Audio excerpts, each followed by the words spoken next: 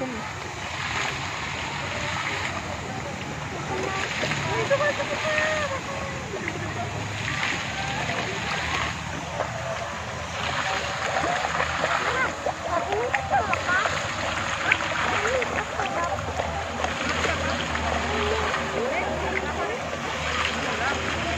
Udah jangan langsung dihabisin, buat ntar lagi.